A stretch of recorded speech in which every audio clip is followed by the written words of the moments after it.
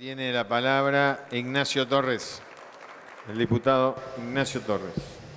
Gracias, señor presidente. Voy a tratar de ser lo más breve posible para cumplir con el tiempo establecido en labor. No puedo dejar de destacar y de felicitar también la capacidad desde la retórica que han tenido desde el bloque oficialista de vender en su momento un ajuste, un, impuestazo o ahora la derogación del pacto fiscal como algo solidario, como algo federal, como algo equitativo que apunta a la reactivación productiva.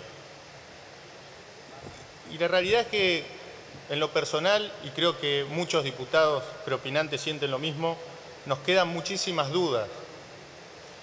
Creo que un verdadero estadista está dispuesto a asumir un costo político en una determinada coyuntura, aunque sea una medida antipática, pero que realmente haya un modelo de país, un horizonte, una agenda de desarrollo inteligente a mediano o largo plazo que realmente nos permita entender hacia dónde vamos. Yo escuché y me tomé el trabajo de escuchar a cada uno de los diputados de la bancada oficialista y la verdad que hay muchísimas cosas que no me subieron a explicar Muchos hablaron de la generación de empleo, muchos hablaron de la defensa de los trabajadores. A mí me gustaría que realmente nos expliquen cómo vamos a generar más trabajo si tenemos la segunda tasa más alta de presión fiscal del mundo. ¿Cómo vamos a generar más trabajo si cualquier comerciante o cualquier emprendedor en nuestro país tiene que trabajar de lunes a jueves solamente para pagar impuestos y el resto para cubrir los costos operativos?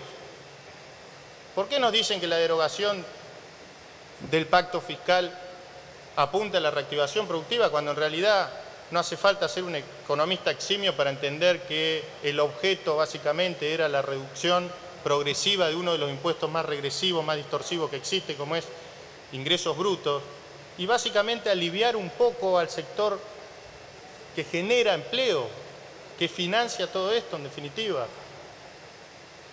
La verdad que me, me duele y me avergüenza un poco ejemplificar con mi provincia, pero un diputado preopinante dijo que tenemos que aprender de nuestros errores. Y siguiendo la línea de otra diputada preopinante de izquierda, con la cual la verdad que coincido plenamente en el análisis conceptual de esta medida, creo que Chubut, donde ustedes son oficialismo hace más de 10 años, es el ejemplo perfecto de lo que no hay que hacer. Y tenemos que aprender de eso. Somos una de las provincias más ricas de todo el país, con uno de los presupuestos per cápita más altos de todo el país. Y sin embargo, lamentablemente hay miles de chubutenses miles de familias que la están pasando muy mal porque al día de hoy no podemos pagar sueldos en tiempo y forma, no sabemos si los chicos van a poder empezar las clases, habiendo perdido ya un año lectivo. Estamos hipotecando el futuro de muchísimos chubutenses bajo una concepción de gobierno que concibe al Estado como la primera empresa.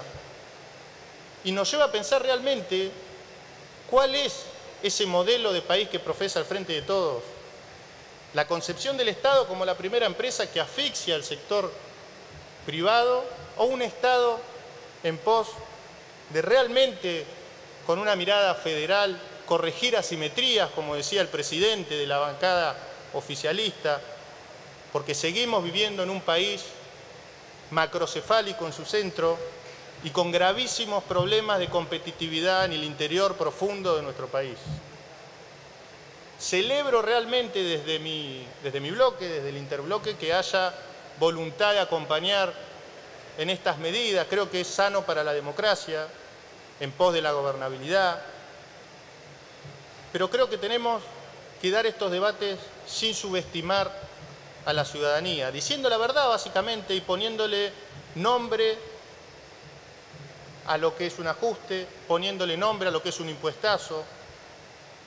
Yo estoy plenamente de acuerdo con que hay que descentralizar las arcas del gobierno central, pero no para avalar la ineptitud de algún gobernador amigo que dilapida los recursos, como hoy pasa en Chubut, donde teniendo semejante presupuesto no podemos cubrir lo básico, indispensable que un Estado benefactor tiene que brindarle a sus ciudadanos. Y que en paralelo a esto hoy tenemos una de las deudas en dólares también más altas de todo el país. Y estas cuestiones hay que desmitificarlas, porque en definitiva endeudarse no está ni bien ni mal. El tema es para qué me endeudo y en qué condiciones. Si el apalancamiento es positivo y me endeudo para políticas desarrollistas que mejoren la calidad de vida de la gente, sería absurdo no hacerlo. En Chubut, esa deuda se utilizó para cubrir gastos corrientes, que sistemáticamente durante 10 años se duplicó en términos reales y se triplicó la planta política. ¿Y cuál es la respuesta que le da el gobierno nacional a los chubutenses que hoy la están pasando mal? Muchachos, gobernador, puntualmente, si tiene problema de caja, siga apretando a los que generan empleo, siga apretando al sector privado. Por eso, creo que si realmente hay vocación de trabajar de ahora en más en una agenda de desarrollo seria, federal y solidaria y equitativa, tenemos que empezar a conocer la realidad de los distritos a lo largo y ancho de nuestro país y entender que es necesario corregir estas asimetrías que hacían referencia a los diputados preopinantes. Muchas gracias, señor presidente. Gracias, diputado.